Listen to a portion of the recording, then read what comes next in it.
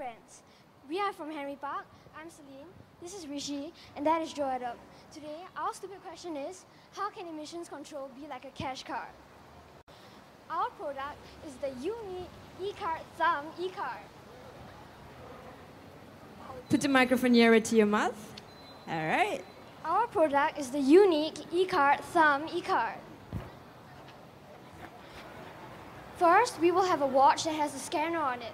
It will have a button at the sides so that we can push it so that the scanner will come out. The, the first space used as a decimal point for the date and the year used as the letter. Day and month used as the, the amount. Next, please.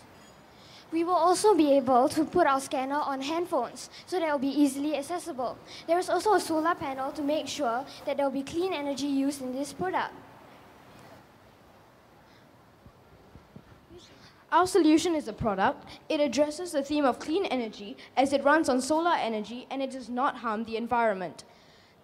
No, there's no need for transportation and it's easily contactable using many ways such as the handphone or email, etc.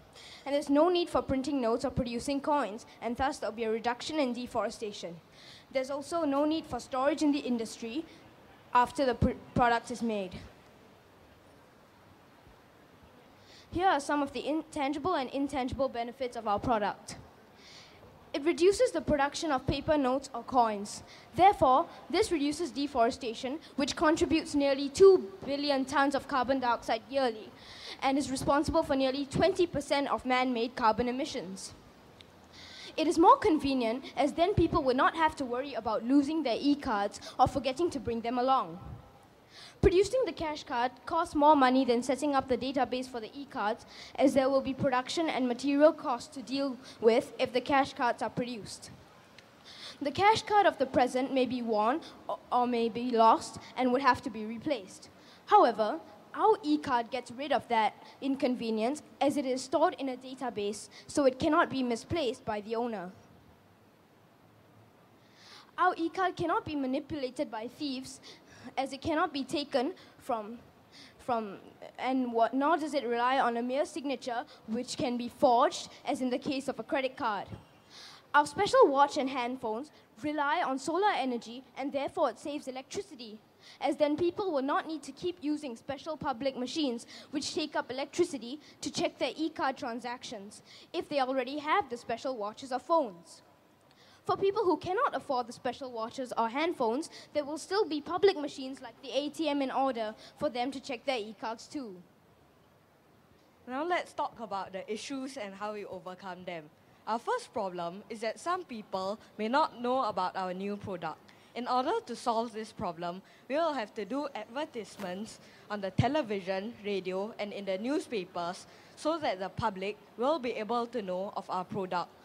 People may be worried that their personal information will be misused or exploited. We will have to educate the public on the safety of our program. We will also have to ensure them that only their thumbprints, names, and the amount of money they have in the e card system will be the only information we keep. Finally, some people may not want to pay to change their handphones and watches there will still be public machines, just that the handphones and watches would be an added convenience available to those who are willing to pay for it. Our estimated cost. The production to create this program to create this program is about 10,000. The materials, which include the computers and machines, will be about 500,000 the manpower, which includes the help desk staff, the IT technicians, staff in programming, administrative staff, will be about 200,000. The overall estimated cost is 710,000. Thank, you. Thank you. you. Thank you, Henry Park Primary.